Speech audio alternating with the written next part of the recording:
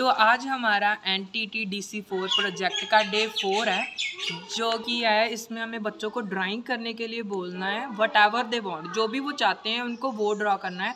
आइए मैं दिखाता हूँ कि मैंने अपने प्रोजेक्ट में इस एक्टिविटी को कैसे लिखा है और कैसे मैंने एक बच्चे की शीट लगाई हुई है। तो इस तरह से ये फोर ईयर ओल्ड पारस ने एक सन बनाया था मून बनाया था और स्टार बनाए थे। इस तरह से बच्चों बच्चों को सन के बारे पता चला मून के बारे में पता चला स्टार के बारे में पता चला कि सन डे टाइम आता है मून नाइट टाइम मतलब कि बहुत सारी बच्चों ने खुलकर कन्वर्सेशन की। तो इस तरह से ये एक्टिविटी का नाम ये है कि बच्चों को डिज़ाइन एक्टिविटी ड्रॉ करने के लिए कहना है, जो भी वो चाहते हैं। तो आइए आपको दिखाते हैं कि कैसे बच्चों ने ये एक्टिविटी करी। हेलो हरमन क्या ड्रॉ कर रही है आप? ठीक है। ये देखिए हरमन ने एक हट को ड्रॉ किया है और सन को ड्रॉ किया है।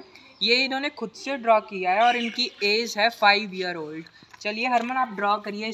अब नेक्स्ट हम स्टूडेंट दिखाते हैं आपने आपको कि उन्होंने क्या ड्रॉ किया चलिए देखते हैं। देखिए बेटा देखिए इन्होंने भी एक हट को ड्रॉ किया है। साथ में इन्होंने खुद से एक ट्री बनाया हुआ है सन बनाया हुआ है।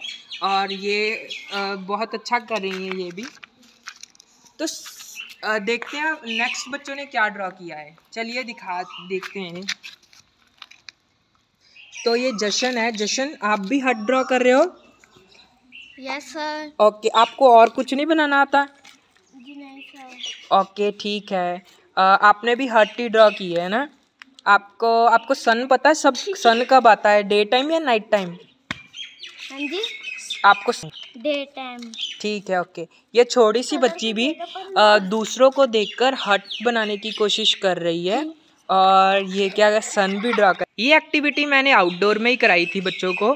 तो बच्चों अपनी अपनी शीट दिखाओ सभी। वाह देखिए सभी बच्चों ने हार्ट सी बनाई हर्ट बनाई हुई है सन बनाया हुआ है।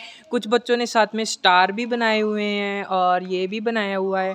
ठीक है तो बच्चों अपने लिए क्लैपिंग करो सभी अपनी अपनी शीट को रख के।